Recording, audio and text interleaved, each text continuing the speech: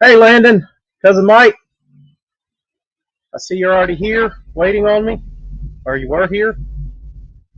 We'll see if he's sticking around.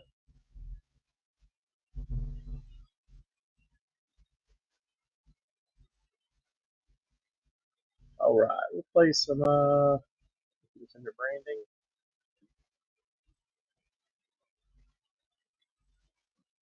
Play some music real quick. Call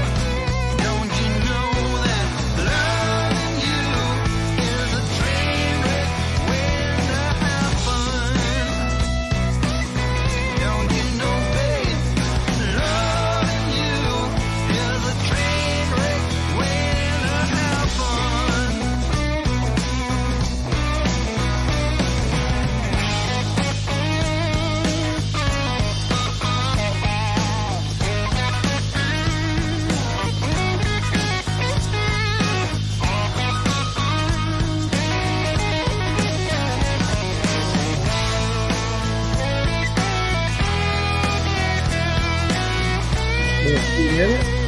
So, uh, You to start. Let's see if Mike was there. And may not be there.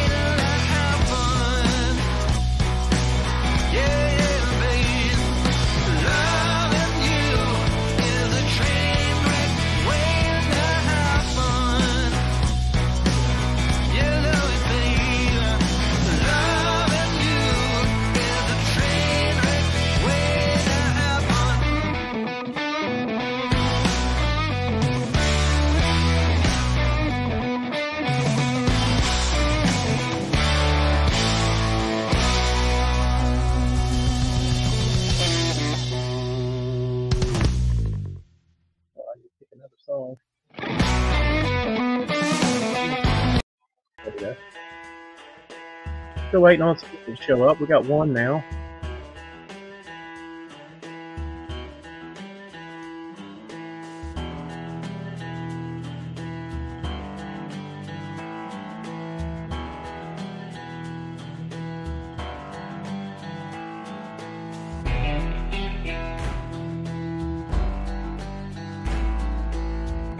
Uh, if you're watching the recorded version of this, it's uh, at five minutes in, maybe a little further. Get everybody on board. A couple of y'all.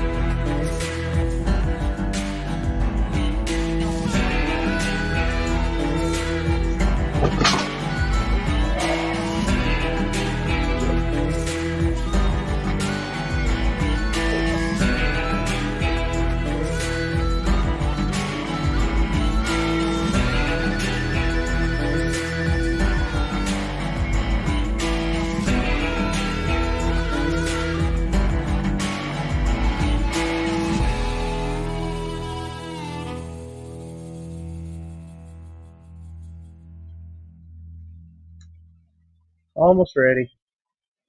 I'm just waiting for a few people to show up. I changed song for you. Sorry about that.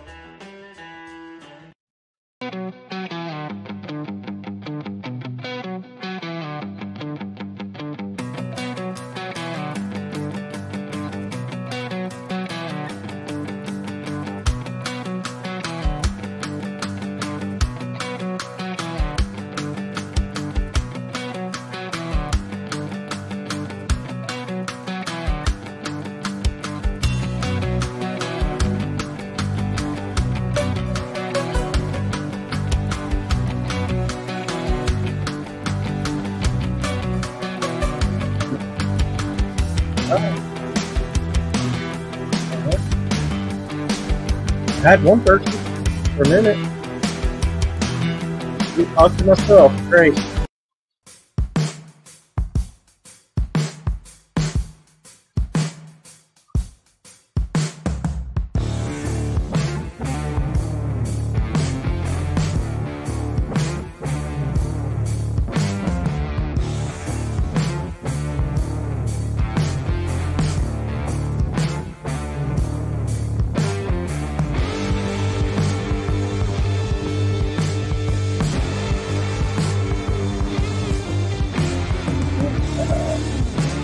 Nobody.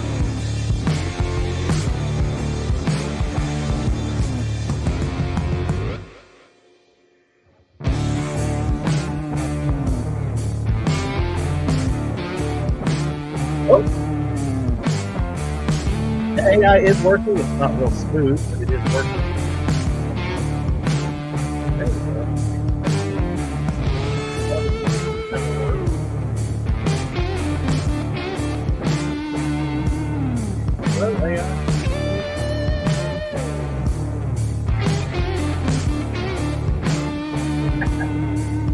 A drunk camera. Oh, not real smooth. Use it one a time, and if it's tough to make, I thought maybe it break in a little bit. Gotta jump. Maybe it's not a jump if it's further away. Well, I cut my head off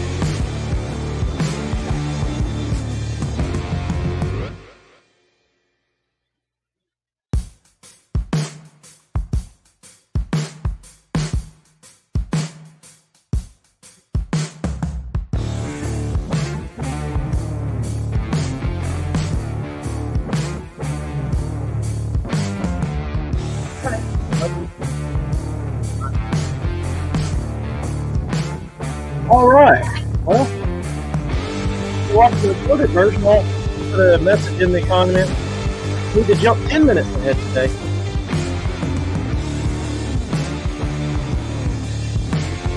I mean, I've gotten better at hosting uh, a live stream every Tuesday.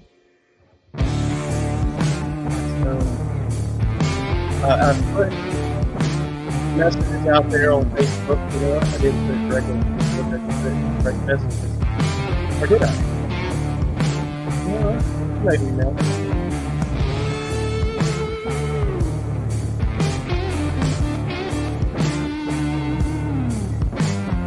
No, I didn't. I didn't put direct on. That was like sure.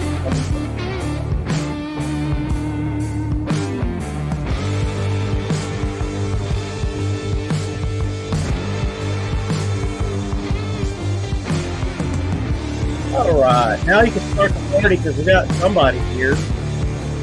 I don't know. We'll just turn the music down without turning it off.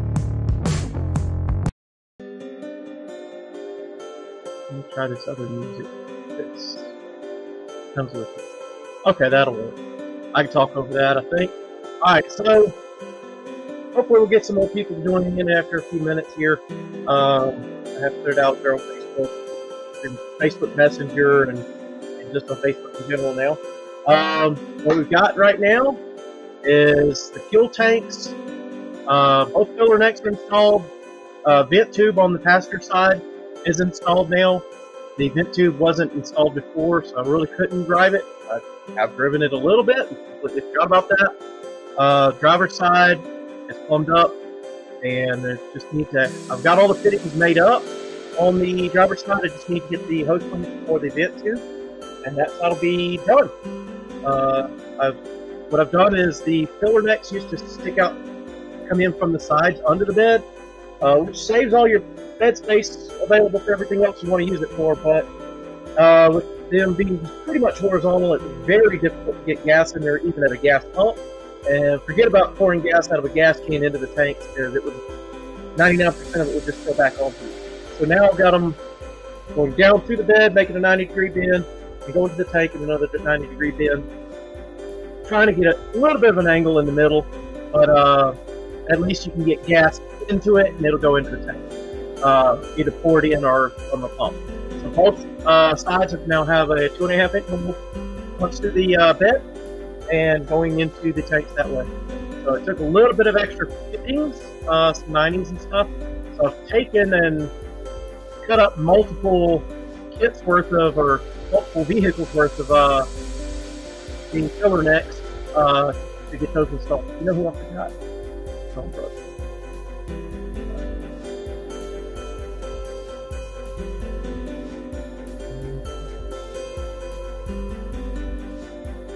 Alright.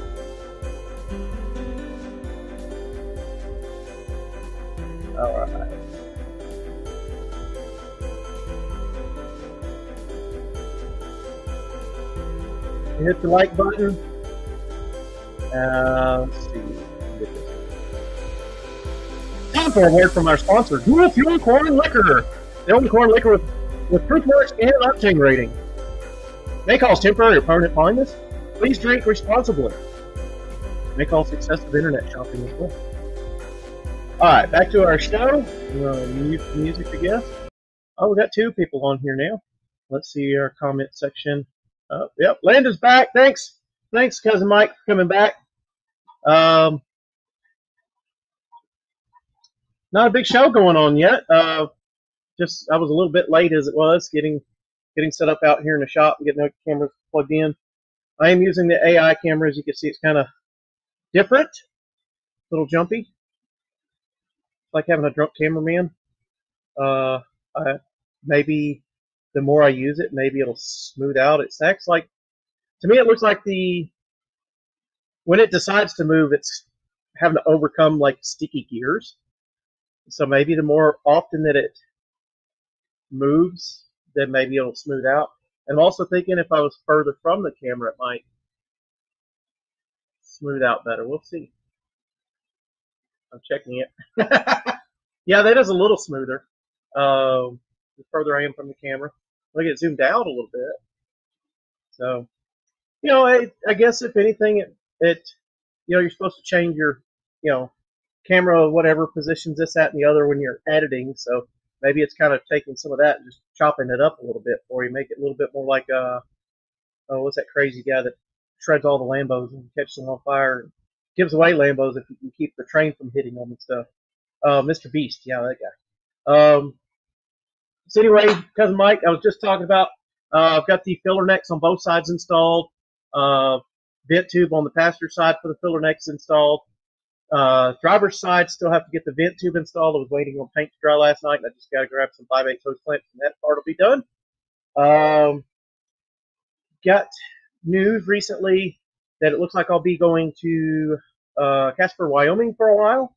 Uh, I know that's a little bit closer to your neck of the woods, uh, Mike.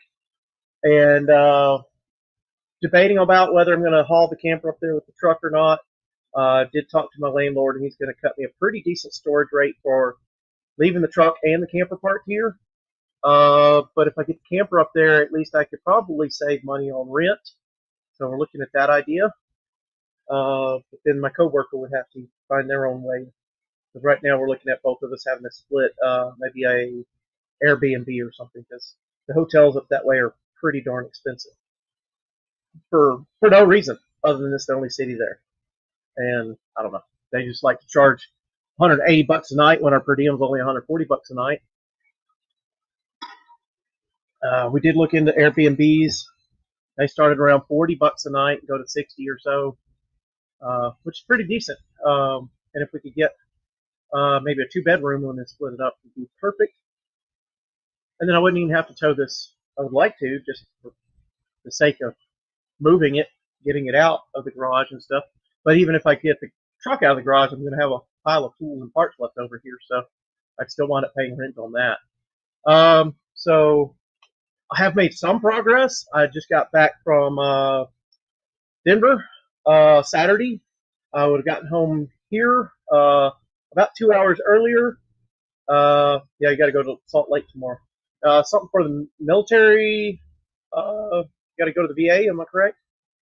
Um, but the my work truck got broken into Saturday morning around 6:15. Uh, the guy was ballsy enough to, to make five trips back to my truck. Uh, took him a total of about 30 minutes to uh, to empty out my back seat of all my tools and personal property and even my dirty laundry. Uh, I think that was pretty dirty of them to do me that way to steal my underwear and stuff.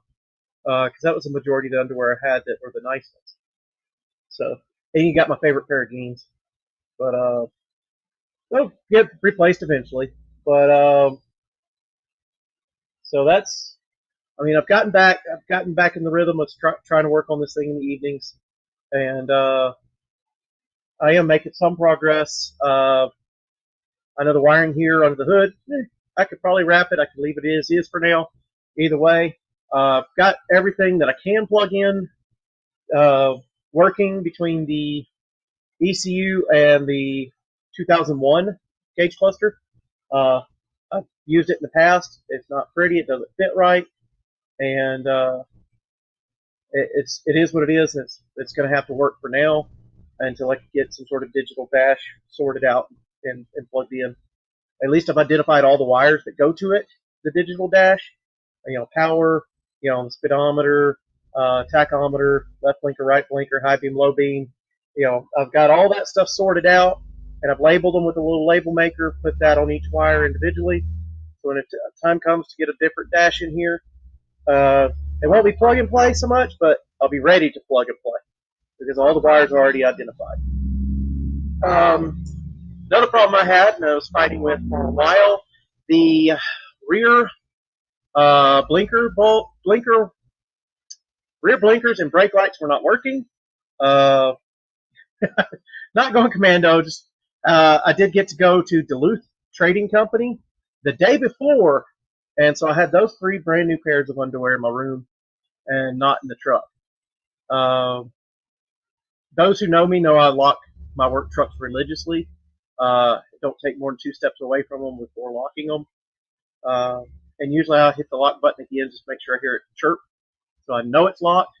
Because that extra button, you know, an extra press of a button, tell you know, first time you press it, you hear the truck lock. Second time you press the button, it always chirps, which tells you it's locked. Uh, it tells you, hey, you've already locked it, which I'm fine with that. I'd rather know that I locked it than walk away and maybe I forgot to press the button. Um, so we're thinking one of two or three things was the scenario and what happened there. Uh, there was a vehicle parked next to my vehicle between midnight and one. I don't think they were a guest at the hotel, but they did go in the hotel. I don't know how they got in, but maybe they were an employee there or friends of a guest. Maybe they were delivering stuff. They went in, come back, threw some stuff in their trunk, but they meandered around the, between the two vehicles for a while. So I'm thinking maybe they used a Slim Jim to defeat the locks and get into the truck and then come back a couple hours later. So it wouldn't be so obvious it was that vehicle that was the people that had locked the truck. Two, I think maybe somebody just happened to have some sort of key or there's other electronic devices you can get on Amazon that will clone codes or pretend to be a you know key fob and they just went around the parking lot until somebody's door opened and then come back later to get to the truck. Option three wasn't even my idea. One of my my employees came up with this one. Could be a disgruntled ex-employee and a friend of another disgruntled ex-employee, uh, because one of them was actually the previous driver of this vehicle. He could have possibly already had a spare key to the truck and just didn't release it to me when he gave me the truck, and mailed that key to somebody. The other ex-employee actually lives in Denver, so he could have mailed that key from Kansas to Denver. That guy could have had the key to the truck, went there, unlocked the truck, got right in, got because the stuff that was stolen other than the laundry was very work specific stuff. And like one of the tools uh, it's a very small tool but very expensive about 450 bucks. And i would love to get a pet honey badger. Um, but this one tool about 450 bucks and no one would have known it was there or what it was unless you work on wind turbine blades. And i think it was more just to be an irritant uh, because if you're not working on blades, you would never need this tool. Um, and then I think the stealing of my clothes because they were disgruntled ex-employees, they just did that to piss me off. So, um, that's what's going. Those are my three thoughts on that. Either way, they got some very used, worn-out tools for the most part. Uh, I thought they got a whole bunch more tools, uh, harnesses and stuff. But fortunately for me and my company, I'd already stuck those in the locking toolbox in the bed of the truck a couple days before. And uh, uh, so those tools were found later, safe in the bed of the truck the whole time. So the Kestrel, again, that was an irritant. Company can replace that. The harness, that's an irritant. It was an old worn out harness. I already had two and a half years on it. It only has a few years left on it, and it was dirty. So they got a dirty harness. They can keep it, whatever. Company will replace that. Now my my PAPR, which is breathing apparatus, is a full face helmet that's got a blower that blows filtered fresh air into there, keeps me from inhaling dust and uh, chemicals. Yeah, that was a pretty pricey tool. I have parts of another one. I could put one together again. Uh, I don't think the company's going to be replacing mine because that was my personal tool. And then the clothing.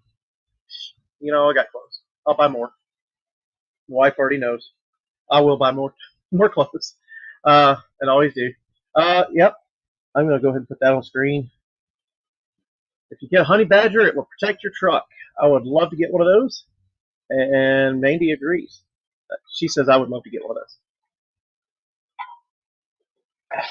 And it'd probably be more civilized than our children. Tell me I'm wrong. so, um, yeah, I like this camera better. It's got, as far as video quality, I mean, it's got higher definition. You can see the the mustache a little bit better. Uh, got a little bit of glare coming from the light back there, but I'll stand in front of it. I'm not lying about the the honey badger would be more be, better behaved than our our kids. So turn this thing on because it's in my pocket. All right. So, uh oh, we lost somebody temporarily. All right, cousin Mike's got a good point there. Due to the rising cost of clothing, uh, he might become a nudist. I, I, I pray for the people at, at the VA, or at least in Idaho there. Uh, don't they have some nudist colonies out there?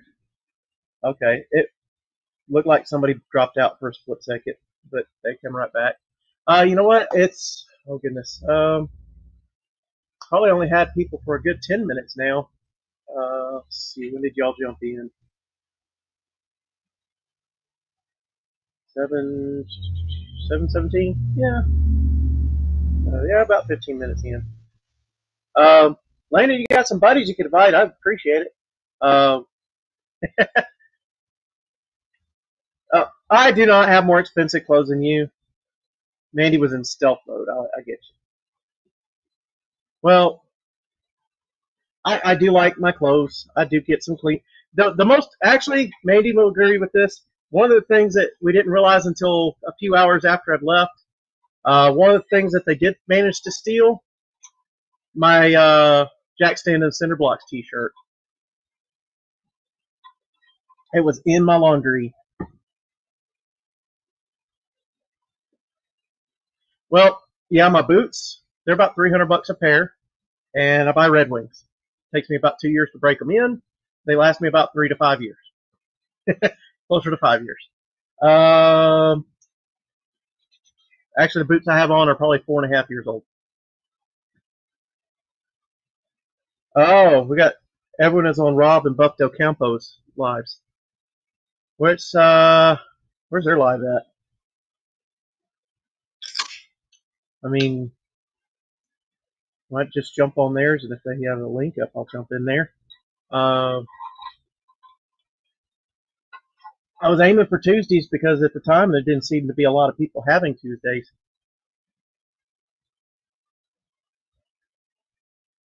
Uh, but anyway, um, yeah, I got the that done, got that done. Trying to think of what else. Um, right now, I'm waiting. I'm not really waiting. I've been looking for. There's one little metal tab that bolts onto the brake pedal assembly, and that's the one that actuates the brake light switch. Um, I'm waiting to find that because that will make my truck drivable. Right now, if I plug my wiring in, then drive down the road, my brake lights will stay on um, because there's nothing to turn the switch off.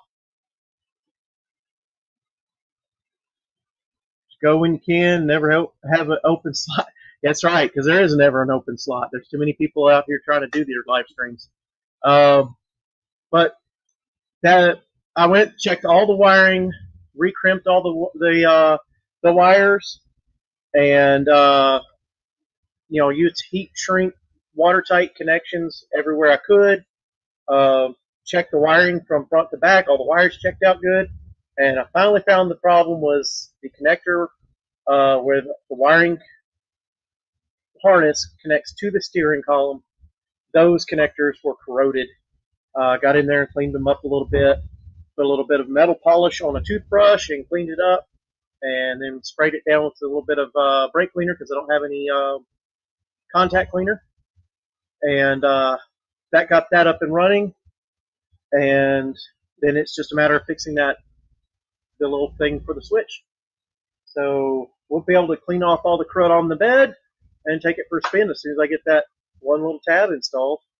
So, um, I did put out some videos while I was in Denver. I was there for a total of two weeks, and I think I put about two, two maybe three videos together, a couple of shorts, and a bunch of posts.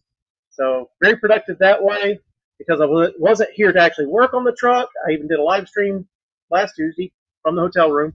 Had terrible backlighting because uh, hotel rooms in general, they don't give you an overhead light. They just have a bunch of lamps sitting around, and their lighting sucks.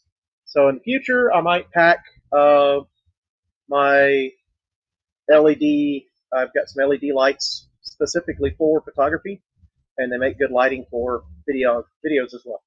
So I'll remember to pack those when I go on my other trip. Um, so it looks like I'll be in uh, Casper for around 90 days, a whole quarter. Uh, I'm going to try to return here when I can to work on the truck, but it is a nine hour drive. So it's going to suck either way. Um, but uh, I probably have a few weeks worth, of, probably months worth of footage that I've already recorded. They're on external hard drives. And I'm actually trying to get a small computer uh, set up to edit video, and I think that computer will actually run better than this laptop that I've been using. I do have a desktop, but it's huge and it doesn't travel very well. So I've got a mini desktop that was a high performance gaming system when I bought it. Uh, it is a good, I don't know, eight years old or so now. And, uh, but I did just upgrade, tripled the amount of RAM in it. Uh, it needed a new BIOS, whatever the battery inside of it and uh, got that up and running. Um, got it running in Windows again because it was I had it locked to where it wouldn't take updates, and then I had to force it to take updates. Got that up and running. I backed up everything on it, and now I've just got my Linux operating system more up and running on it today. And that took a majority of the day. We got Lone Wolf, we got Cousin Mike, and we got Mandy. Uh, we had fourth person jumped in for a little bit. Uh, don't know who it was though. But um, take a short break and we'll go uh, throw something in my camper. Um, I'll throw some music on right while I do that. and then I'll be right back. Um, we'll discuss some of the stuff. We'll reiterate what we talked about last week as well, and uh, we'll go from there. Um, I'm trying to think of some more topics to go on. Be right back.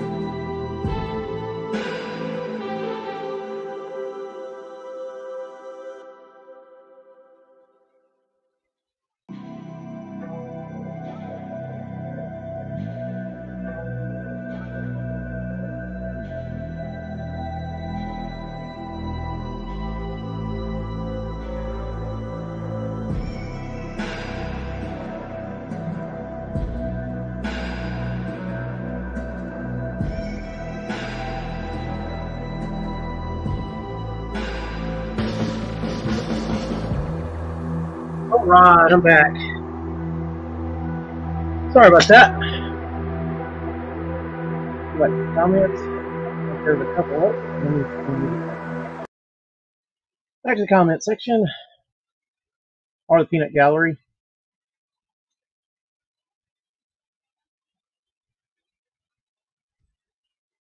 Yeah.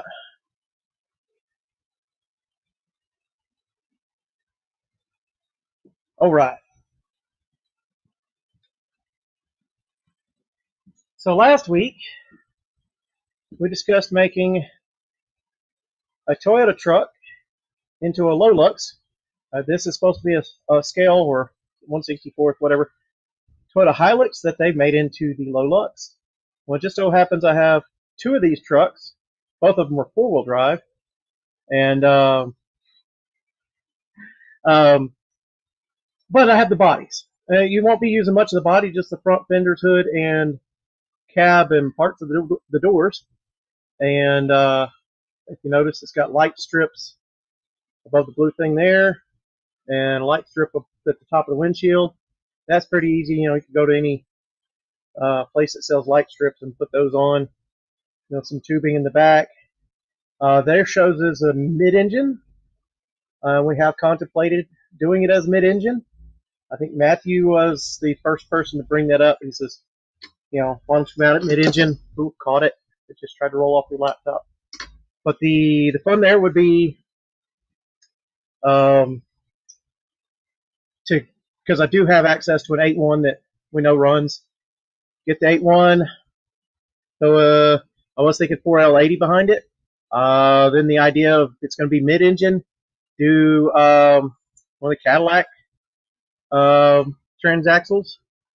But one of the Cadillac transaxles we were looking at is made for kind of like the Corvettes, where you got front engine with the rear trans transaxle. Uh, so they use a torque tube to go through there. Um, guess we could short couple it. Uh, the other idea would be just use a standard like 4L80 and maybe some sort of. Uh, I think we even came up with using the Toyota rear diff because the Toyota rear diff instead of nine inch, I think it's 10.5 inches for the Tundras.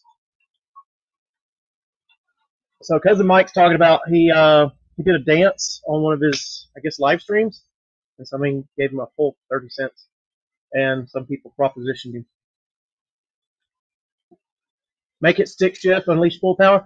Well, I know for the drag strip, uh, automatics actually get are better at putting the power down because that that torque converter turns into a torque multiplier almost.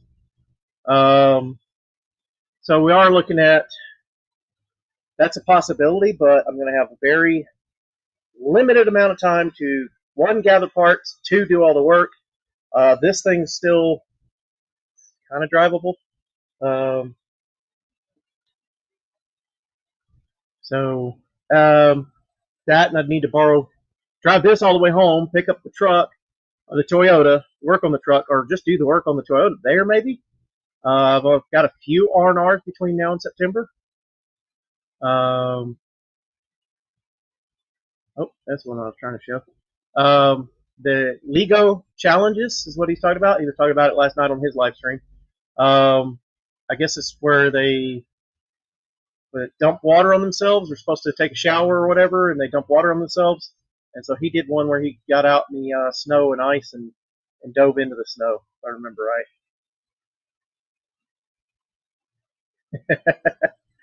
All right. So I've got to. I don't know if I'm going to be able to do the the low lux this year, but it's an idea for the channel. It's definitely have a chunk of the parts. Uh, transmission will have to come by, and rear end or transaxle will have to come by. Um, thinking all this major parts could be sourced from a junkyard, and then probably just do a custom tube chassis of some sort. Uh, would be faster than trying to make some of the suspension fit the chassis that I have. I've run into that in the past. When you're trying to figure out, hey, my my frame was this wide, and you know, I've got an engine that's supposed to be set on a frame that's this wide, you know, and, and trying to make those parts fit sometimes is a challenge. Uh, I think if you could just lay all the parts out on the ground and start welding up pieces and, and put it all together, I think go the project might go faster. He's looking at getting his Impala on the road. So, um, yeah, with me being out of town for the next 90 days, it's going to challenge me for one, getting the, well, I've got some footage that I can edit and get out.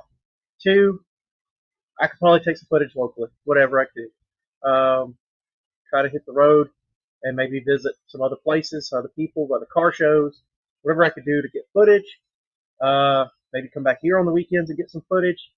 Uh, receiver hitch on the Thunderbird. How many of those T-birds you up to? I can get this thing to operate here. There we go wouldn't click. Um, I've, I've heard you talking about you had parts from this and parts from that the other night. I know you got the speedometers you, you find on different abandoned vehicles.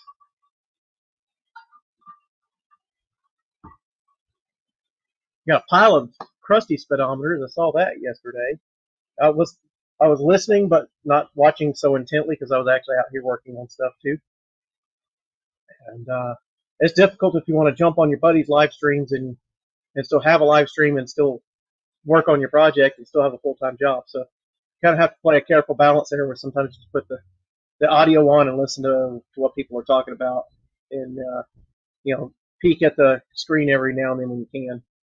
I'd like to actually maybe set up a, a large screen TV in here where I could see it from multiple angles, unless I'm under the truck. But, you know, that, that'd be the ultimate, have a big man cave you know, flat screen or something where you could see it while you're working. You know look up and see the comments and, and, and see what they're talking about. Uh, speaking of, um, a lot of people uh, have jumped on. I didn't realize how many of us from the No Name National group uh, have jumped on there, but um, functional histories.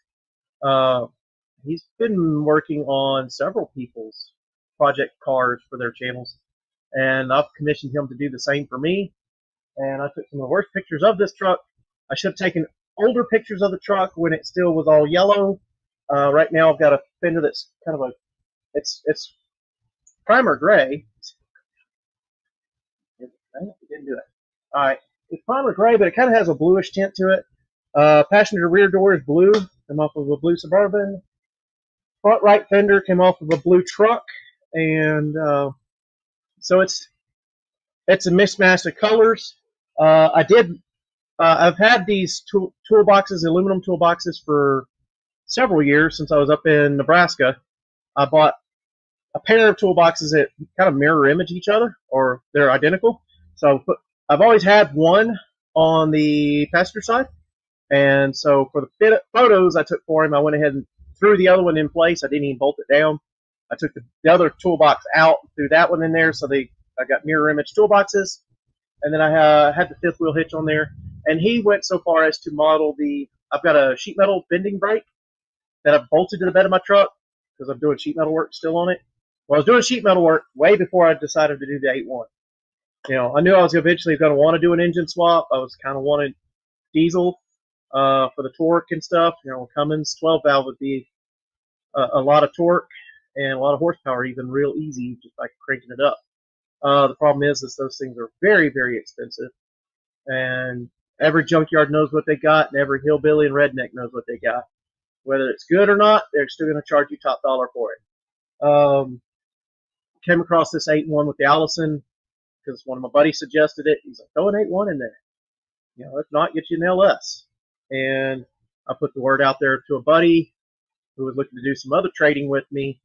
Uh, he backed out of the trade, but he did find me this motor and transmission at a swap meet. And I think I had to send Mandy up there. Um, yep. Hi, mom. And uh, I, I think what we did is I think he got the guy's number, and I sent Mandy to, with the money. I think him and Mandy went there, paid the guy, and then the guy delivered it to the house, dropped it off, and uh, it took a while because he thought he had the ECU and TCU with him, and he didn't. Uh, it took several months to get the the ECU out of him, and it took about a year to get the TCU out of him because he swore up and down he gave us the TCU the day he dropped it off, and I was like, you didn't even give us the ECU when you dropped it off. So, like I said, it took about a year to get the TCU out of him, but it does run, drive, it goes through the gears. It still thinks it's UPS truck because I haven't done any programming to it, but it does run and drive, so I can't complain there. Got a couple of oddball engine codes, or I think it's um, traction control or something like that. You know, because the UPS truck did actually have some form of traction control. I think it just had a little thing on the drive shaft that sensed whether the drive shaft was spinning with the transmission or not. But yeah, whatever. It, it if that's the worst I get, then that's the worst I got to deal with. Right now, it, like I said, it does run and drive. I'm still waiting to get the finishing touches on that. I do have uh, suburban front uh, captain seats instead of the bench seat. Got a console between. It's not even bolted down. And then I do have the 6040. I, I would rather just a bench seat for the back, but I got the 6040 from the suburban as well. And uh, hey, he knows who he is. Um, so we've got those parts in or available to put in. I'd have to take and clear out the whole back floorboard of all the tools and stuff that are in there right now, but that might be a, a very near future project. Uh, not to say the upholstery on any of the seats is in really great shape, um, but they're there. I could throw a seat cover on them. Uh, maybe do another seat cover video because my seat cover video from two years ago, it still gets views every month, and it's amazing to see that. And I like that it's still doing that. Yeah, I, I know what I want to do with the gauge cluster, uh, but I don't have the money to do it. Right now, I'm literally just going to be driving around with the 01 gauge cluster sitting on the steering column. I might secure it with some zip ties to hold it up. because it doesn't fit in the dash, and I'm not going to try to cut out any of the metal. But it, it's it does run. All right, uh, thanks, cousin Mike, for stopping by. Uh, If I can get it to show, there we go. Gotta click right on it. Well, it's still not. Maybe if we do that. Come on. All right, this thing is not active. Well, cousin Mike's leaving. I can't get it to let me control the messages, which ones are on the screen. Yeah, I'm going to do some more of the Mexican blanket seat covers. Uh, it looks like they have some for the, the bench seat or the bucket seats. There we go, finally. I don't know why it wasn't clicking when I clicked on it. But um, yeah, it's um, like I said, I, I could get Mexican blanket seat covers, and you know they're cheap. I think I even have a spare one for the benches. So if I had to cut one up and modify it and whatever, I might do that. Uh, there's a little stretch to them, not a lot, but let's see if I can get some for the buckets up front. And now it's not letting me. Yeah. There we go. Yeah. So that's that's what that is. Uh, like like I said, just throw some seat covers on it for now. They do have entire upholstery kits. Uh, it, for the suburban seats because I've got the suburban buckets and the bench for the 6040. Uh, that kit's about a grand, and it comes with even the third row seat. Uh, I can't. It's cheaper to get that kit than to try to buy the parts individually. So unless I have to pawn a upholstery shop lo- somewhere locally that wants to do the stuff for cheaper. Yeah, that's true. Um, but um, so yeah, that's what the you know the seat covers. You know, I, I kind of like the Mexican blanket seat covers. You know, they they they tell you that I care about my truck enough to spend a little bit of money on it, but not so much that you need to break into it and steal my stuff, like they did in my work truck last weekend. so uh, that's good for you know that will do for now until I can come up with the funds to do the in, entire interior. Uh, Mike, I don't want to do the vinyl floor mat, one piece floor mats again. They to me they once you get water under them, the water doesn't go away, and then it rots out the floorboards. Ask me how I know. Um, because this one had two layers of vinyl format on it. So they really doubled down not letting that floor breathe at all. Uh, it bre- it was breathing all right with the holes under the bottom. But uh, so yeah, some of y'all weren't here for that part of the story. Uh, last week, uh, Saturday, uh, last two weeks, I was out of town work, uh, doing some training in Denver. Saturday morning, I was supposed to leave Denver, walk out to my truck, my work truck, and I see one of my belts laying on the ground do a quick investigation, find out that somebody had gotten into my truck and stole a bunch of my tools, personal property, and even my laundry. Um, and then two theories about that: either they was a vehicle that parked near my vehicle, adjacent to my vehicle, and used maybe a slim jim to get in, or somebody just went fishing with electronic, maybe a key fob or a simulated key fob, and my vehicle just happened to be the one that unlocked. Uh, or maybe it was an ex-employee that's disgruntled got a hold of a spare key and by somebody else mailing it to him. And uh, because the stuff they stole was oddly specific to what we do as a task for work, and then the, the laundry was just like pissing on my floorboard. They did it just intentionally to piss me off. So, then that's my theory. But that actually was that theory wasn't even mine. It was one of my my techs came up with that one.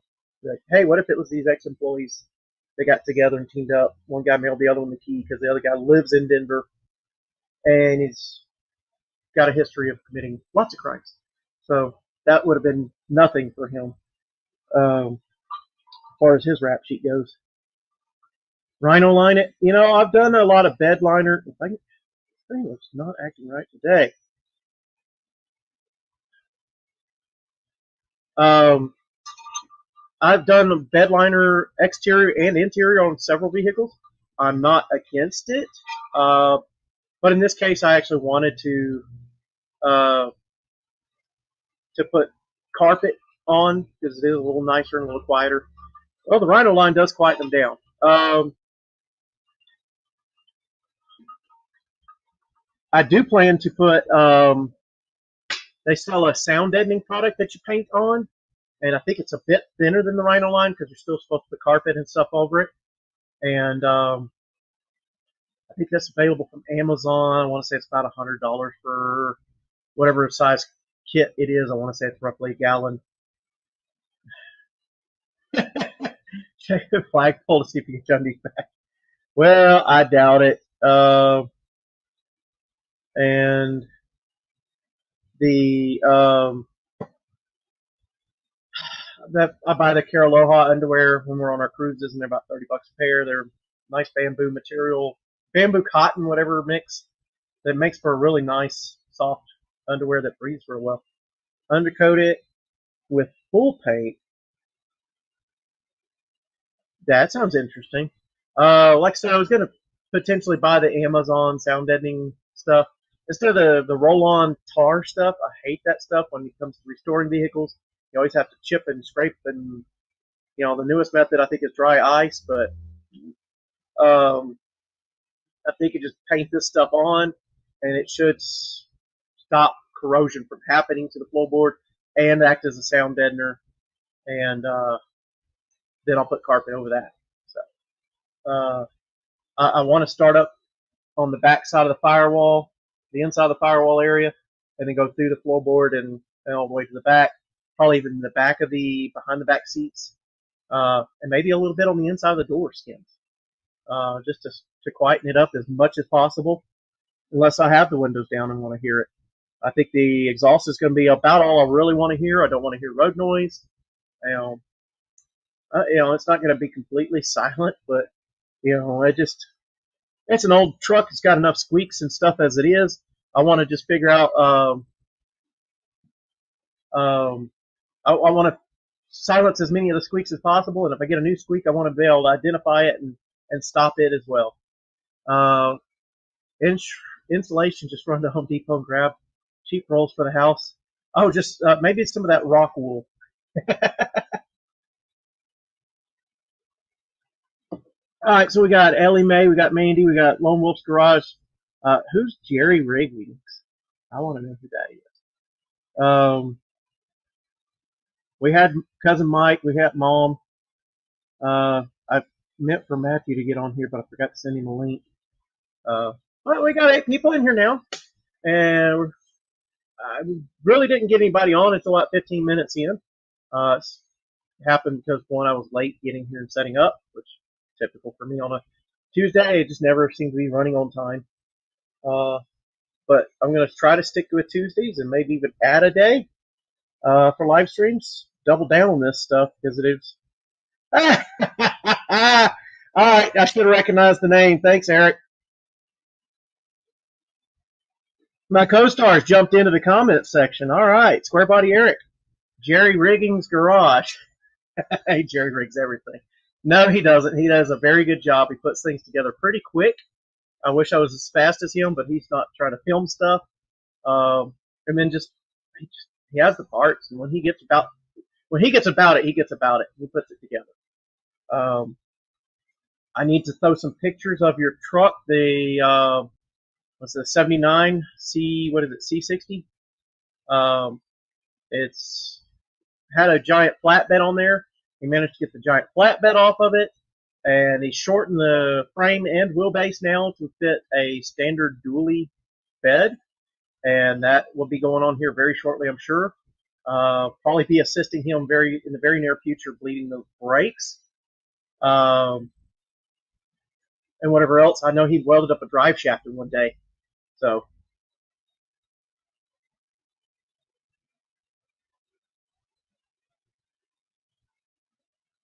think about it.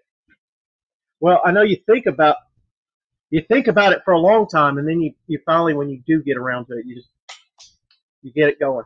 Uh, you know, I spent two whole evenings just putting putting the stuff together for the uh, fuel vents, you know, fuel filler neck and stuff. Fixed the brakes today. Oh, you already did the brakes. All right. See, I missed out on that while I was at work. He already bled the brakes, I guess, and got those up and running. I know the other day he was asking me for a tubing bender, which I think was in the toolbox that got stolen out of the work truck Saturday. Um, I did have some of those spring style that just go over whatever tube you're trying to bend. And he was like, well, you know, already the, the end's already flared. It already has the fitting on it. And he finally said, you know what? Cut that off there, bend the tube, reflare it. And he did, you know, before I could go to the hardware store and come back. Uh, yeah, he, he takes it apart fast. Yeah, well, you got plenty of parked vehicles. That always helps too. You know, uh, and he's quick to lend me parts when I need them, and he usually gets them back in a better shape because I take it. Oh, I don't know if I'm still here or not. There we go. I think it glitched for a split second, but here we go. Um, yeah, we're not quite to an hour, but we're getting there soon. I guess another 15 plus minutes will get us to an hour. Um, so yeah, I get the fuel filter next done, the wiring's done. You know, we've got the the brake light switch just needs that one piece for the pedal. And if I can't find that piece soon, I'm just going to make a new one. I've spent enough time looking at looking for it. But in the meantime, uh, that is helping me. Uh, I've been going through all my totes, and I've discovered several of my totes have. Hey, we got sandpaper in this tote. Hey, got sandpaper in this tote. Got sandpaper in this tote. Hey, I've got grinding discs in this, this, and this tote. And so I'm kind of sorting through and organizing and getting sandpaper with sandpaper, uh, grinding discs with grinding discs, and getting them much more organized and putting little labels on each each box and tote. And then now I'm down to the hardware. Lots of nuts and bolts I've picked up from junkyards and taking this part of truck apart and that truck apart. And, you know, I've been to three different junkyards since I've started this project. I think I've taken every bolt off every truck I've gone to, uh, truck or suburban that I've taken parts off of. And so I have piles and piles of these bolts now. And, but they're in this bin and that bin and the other bin. So now I'm bringing those together and getting them sorted. And then I'm going to try to take one of these nice fancy boxes or totes and put them all away in there and, and label them real nice. So if I need that specific little pointy one or this other one that's got the nut on there, I can reach into that toolbox and have it a minute instead of searching for this this bin, that bin, and the other bin. So that is coming along. Uh, it is making me slightly more organized, which is always a goal to be more organized and more organized. Uh, you know those CSI shows where they, you know, they've got a fuzzy picture of you know the criminal from a mile away, and they go enhance, enhance, enhance. I'm going organize, organize, organize.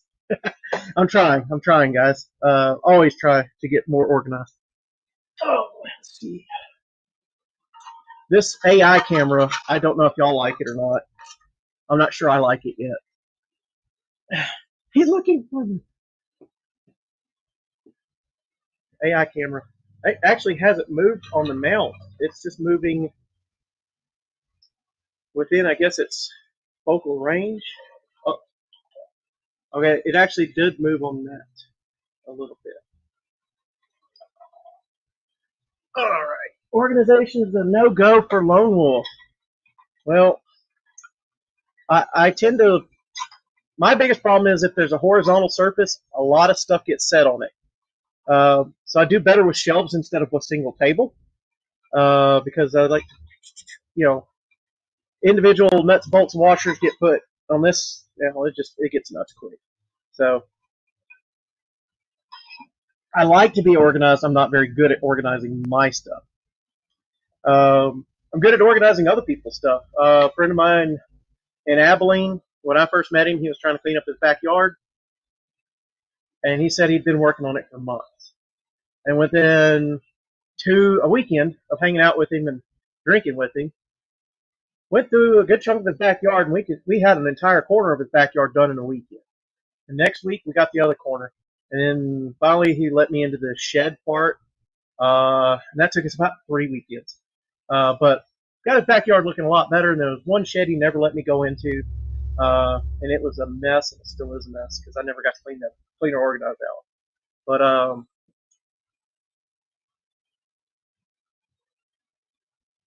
I want to be organized. That's I do try to organize, and being that I'm about to be gone for a bit. Um, yeah, I'm banned from Mandy's shop because I, I did organize it for her. Only I didn't know she actually had track tracking on which drill bits were sharp and which ones were dull. I just took them all and put them in one giant pile because they were under about this much.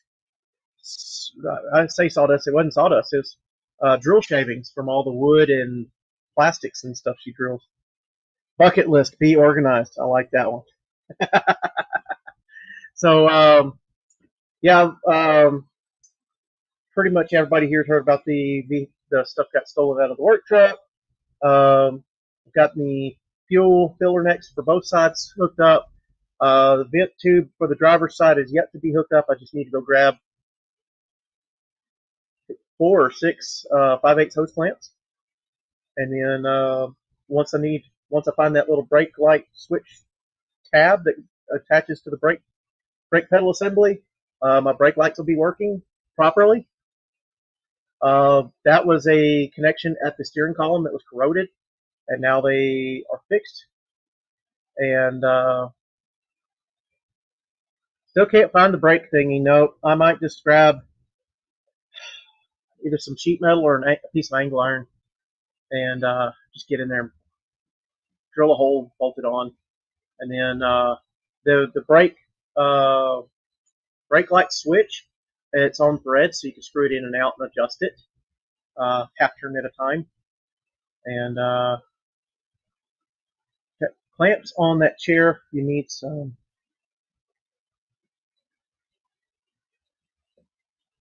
Oh, I just man, I could you know I could grab a vise and grab some sheet metal and bend it and drill some holes, but I really wanted to find the original part because I've already cleaned and painted it.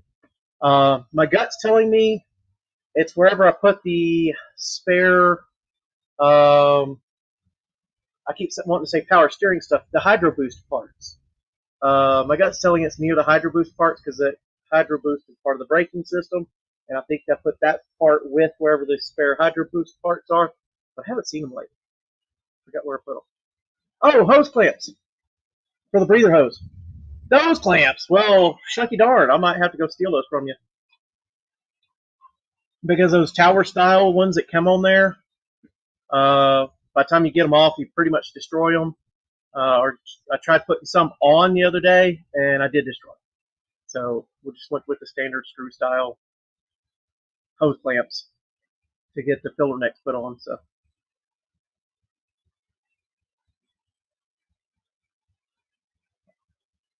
Fifty bucks a piece. I'll just walk. I will walk to the hardware store if I'll pay fifty bucks a piece. Thanks.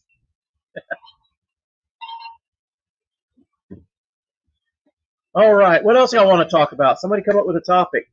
I know we talked about, we talked vaguely or briefly about the Lolux, which is a Toyota Hilux that they Hot Wheels have slammed, and they made theirs mid-engine and such, and light bars on the top, and roll cage with a wing on the back. But I'm thinking that would be a fun project to make.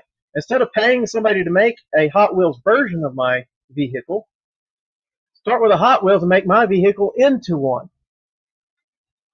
I think it would be fun. I think it'd be uh, great for the channel overall. And showing up at some sort of track, whether it's a road race or drag race or whatever with that, uh, would be fun. And that's a goal. And tow it behind this big beast eventually. Uh, I know this is going to be a gas guzzling uh, adventure, but, you know, so does pretty much anything you tow with. So why not? Um, I did get, if y'all have seen that video real quick, um, let's see if it'll do that. Let me go over here. That's working. Uh, it's not going to have Toyota drivetrain in it. If I do it, it's probably going to get the 8.1 because 8.1. Um, and then maybe a transaxle or a 4L80 with a short coupled drive shaft and like a Toyota Tundra rear differential uh, because the Tundra differentials are cheaper uh, junkyard wise than a 9 inch Ford. And instead of being a 9 inch, they're a 10.5 inch ring gear from the Tundras. So they'd be more durable. Let's see if I can get it to come up here. Come on, camera. Chase me.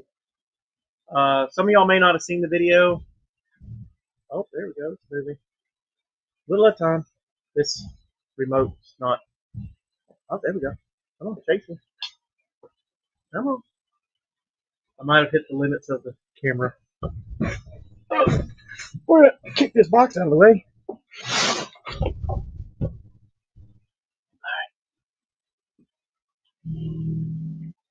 This toolbox here, that used to be yucky and corroded, and that was even had orange rust stains on it at one time.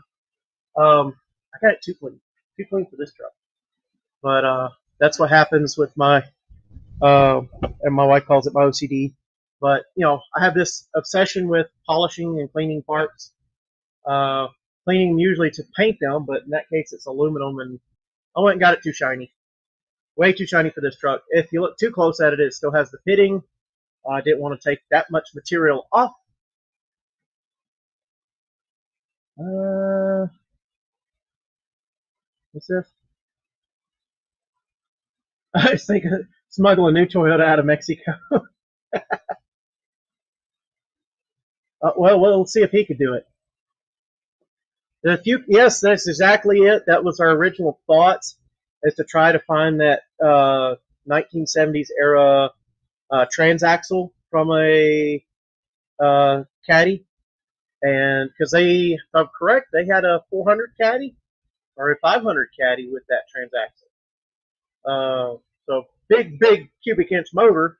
I think they probably stuffed a little two barrel, you know, carburetor on it, but you know they would have a chance at making it behind an eight one. I did check eBay and didn't see any of those initially. I did see, I think there's one LS powered car, modernish. I want to say it's a Pontiac that did use a transverse mounted V8 LS and then still had front wheel drive. So the front wheel drive transaxle um, with transverse mounted uh, LS style motor. Uh, but I think there's some special parts for those motors that they only made for those cars. And I don't know what you'd have to do to make an 8.1 have those special parts.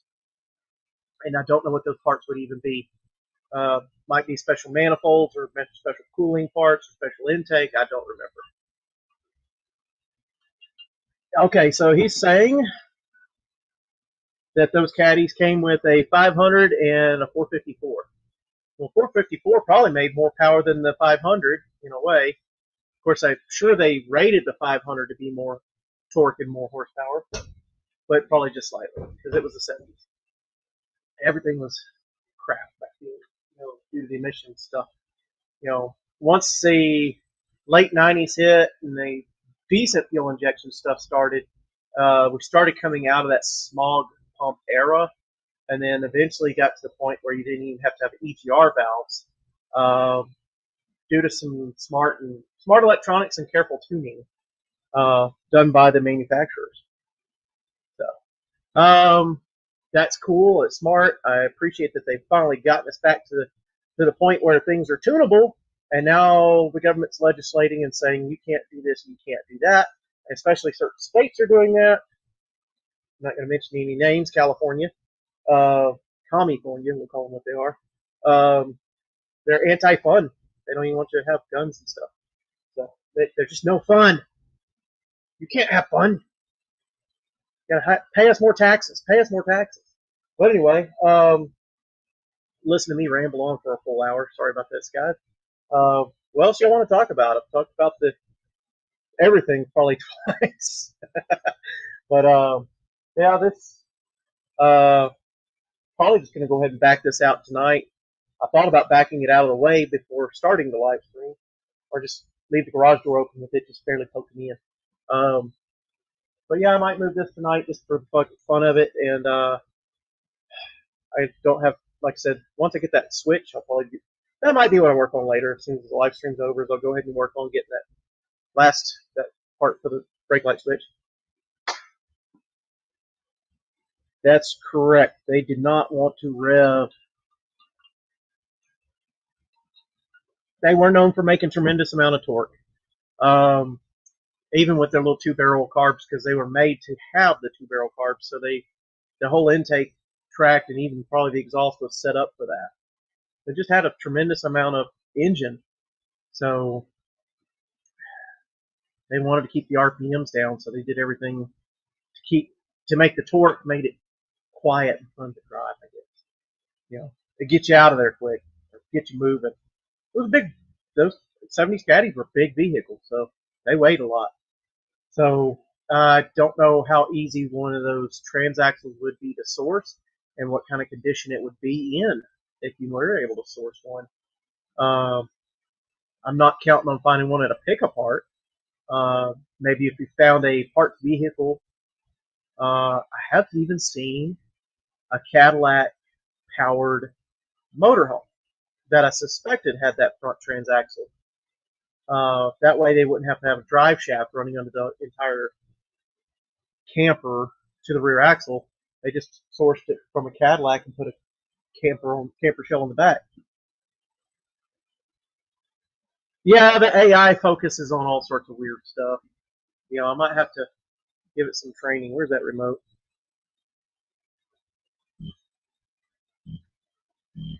Up, up, aim for the ceiling.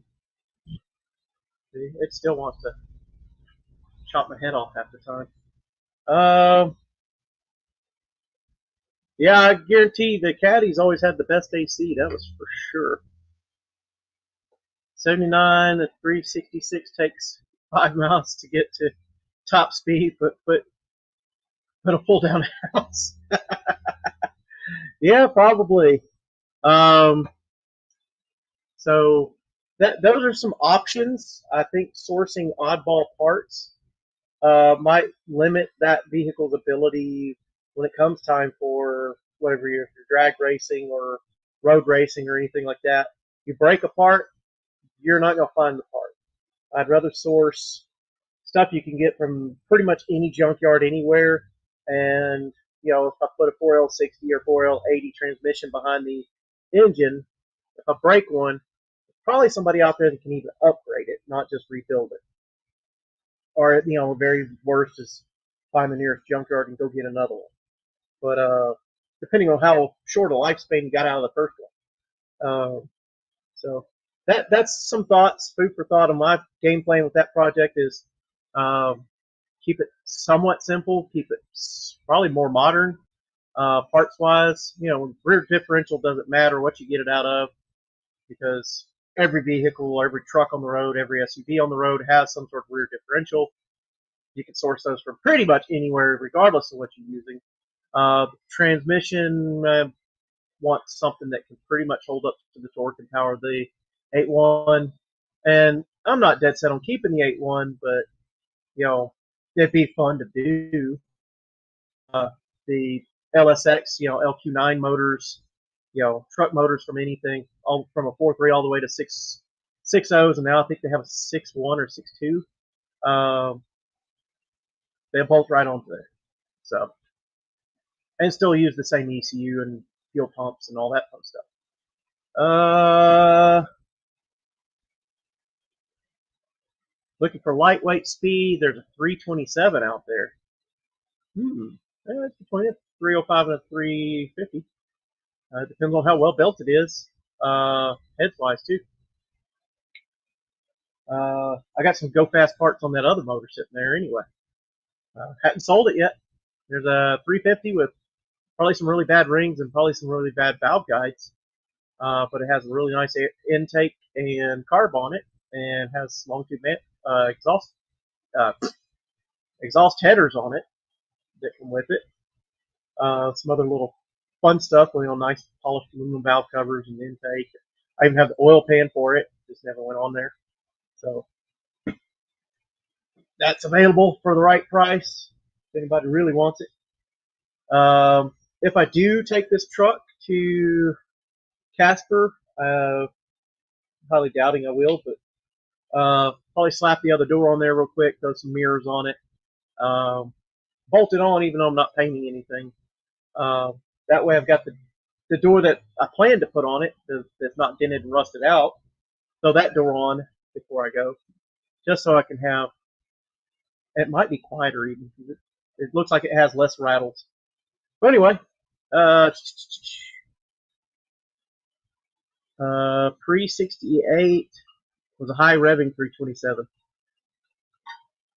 Oh, it's got the small pin um, journals. Uh, yeah, I think there was. Um, I looked into that one time because I was looking for rods for a Supra, and I wanted to get domestic rods instead of the Supra rods. Um, and I know there was a small pin, small block Chevy uh, that if somebody were to grind the crankshaft of the Supra, they could actually make it small pin Chevy, use buy a set of eight small pin rods, uh, would have fit that motor, and then I would have had cheaper bearings cheaper rods, uh, and lighten the crank and even potentially add more stroke to that Supra crank while they're grinding it down.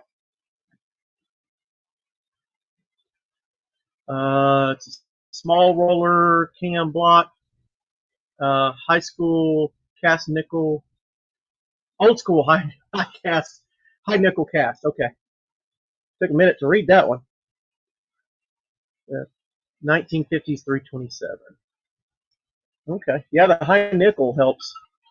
Um, means it survives longer usually. Uh, the rings don't gouge into the cylinders as much too. Uh, 58ish. Okay. Well, I think I'm going to try to use the 8.1. I do have a game plan for getting the 8-1 up and running faster than this last time.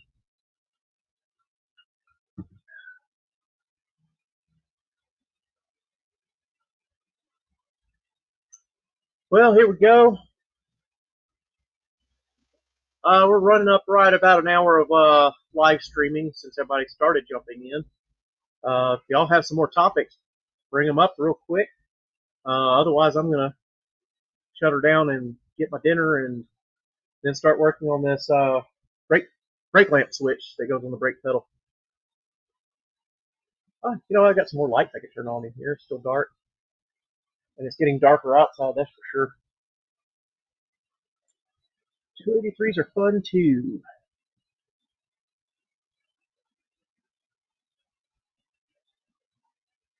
Ah, the 327 now is what it is.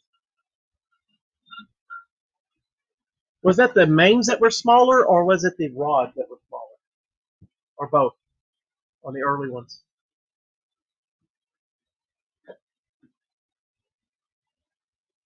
Oh, you're funny. Discuss the meaning of life. How about the meaning of hot rodding? Or shall I save that for the next live stream? the whole purpose behind hot rodding in general. Uh, I know there was a joke made about when I was working on the uh, RV toilet. So he says, "Well, that that just means you're a hot rodder because I bought upgrade parts for every single part that I was replacing. I couldn't just buy the standard part; I had to buy the upgrade part. You know, the valve that keeps uh, holds uh, to colder temperatures and doesn't freeze. You know, new gaskets and this, that, and the other. It just every time I bought a part, I bought the upgrade part. The mains were the small diameter, huh? Maybe. Meaning of hot rodding is the need for speed and the lust for power. Just my two cents. Hey, we're getting there. Uh, that's always the thing is, you know, we've got to, can't just leave it stock, right? You know, once you start turning wrenches on something, that's when the, the stock goes away. Uh, we got my brother a t-shirt for Christmas a couple years ago. It says, I void warranties because he had a truck and before he, he bought it from the dealership, it was a dealer demo of that model of truck. So it got it used for a year or two was never registered, but it had a lot of miles on it because the dealer demoed it. And uh, but when he bought it new, um, he didn't even make it home from the dealership before he took and put a new downpipe on out behind the turbos uh, because hot rodding, which voided his warranties. Um, and uh, he, he blew up several motors in that truck before finally just trading it in. It was a miracle they let him trade it in. It's like a scratch that needs to be itched. Yes, sir. We gotta always work on something. That's once you do start turning wrenches on it, that's when the upgrades start happening.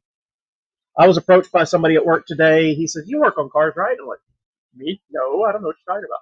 Because usually when conversation starts with that is, "Hey, I got something I need fixed, and can you can you do it for next to nothing?" And I have enough projects in my life to be doing those projects.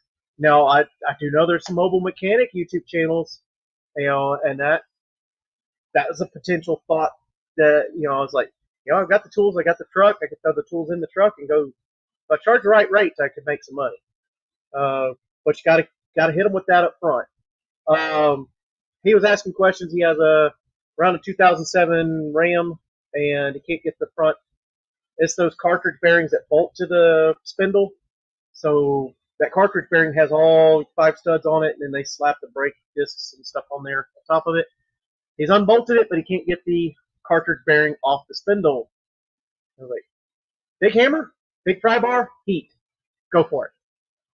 Start with start with pry bars, go to the hammer, do both. If that doesn't work, go to the heat, and then keep the combination of the three going. Somewhere or another way, you can get that thing off there. Jerry Riggins says he's got to go. He's got to be up at two in the morning. Oh, we'll we'll hear you start your truck in the morning. Can make a hot rod out of toilet out of toilet. Well, I kind of did. I was hot rodding my RV toilet, upgrading it. Uh, but you know, that's that's how it goes. You, you know, if I saw an upgrade part, I bought it. Um, and it still doesn't shut right and it veers to the left. But anyway, uh, thank y'all all for coming. I'm going to go ahead and wrap up this live stream, I think, unless you guys have some more topics to, to jump onto here.